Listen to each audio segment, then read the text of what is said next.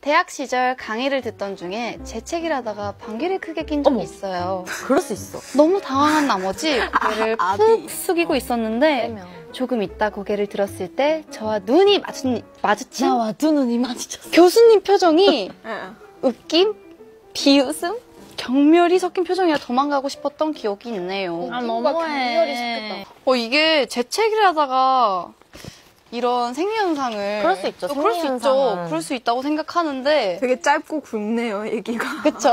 저도 약간 내가 어, 어떻게. 한 장? 약간 근데 근데 근데 이럴 때는 근데 약간 괜찮은 이게 잘 넘어가면 괜찮은데 또 눈이 마주쳤다고 그쵸. 하니까 나와 그러니까. 마주쳤어. 그냥 방귀를 저 끼고서 소- 고개를 숙이면 안 돼.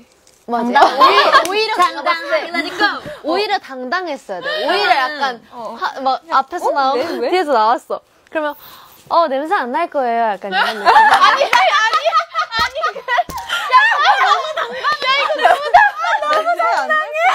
왜? 아니면은 이제 저는 사실 excuse me 하면서 excuse me. 저는 사실 그 정도로 뭔가 아. 내가 꼈다는 걸 한 번에 받아들여 줄 만큼 제가 그렇게 그 컨피던스한 펄슨이 아니라 가지고 저는 그냥 그렇게 된다면은 옆을 볼 것 같아요. 그리고 그걸 거기서 옆에서 그쵸 한술 더 떠서 옆을 보고 그죠? 아 어, 어디서 무슨 냄새 안 나? 이렇게 되는 거죠. 혹시 너야?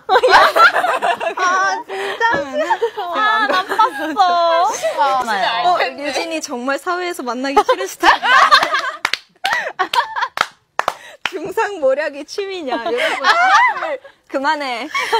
멈춰. 나는 약간 나는 약간 유진이랑 조금 비슷한데 좀 다른 점. 유진이 이제 아예 옆 사람 너 너야 이렇게 하면은 나는 아무의 잘못도 아닌 척 약간 누군지 모르게 되게 이거 저거 찾는 척 약간 뭐야 약간 찾는 척. 누구지 누구지 근데 교수님은 날 바라보고 있어.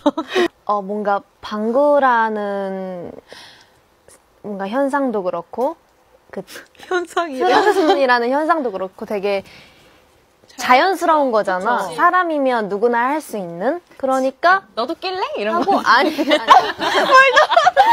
우리 뭐 다섯 살이야? 왜 이렇게 똥광 얘기를 좋아해? 하고 그냥 어. 그냥 원래 그냥 유쾌한 사람인 척 그냥 어 죄송합니다. 약간 이런 느낌으로 넘어가는 게 저는 그쵸, 제일 그쵸. 베스트일 것 같아요. 그냥 어우, 구하고. 그냥 나도 놀랐어. 나도 하고 오, 오, 오, 이런 느낌.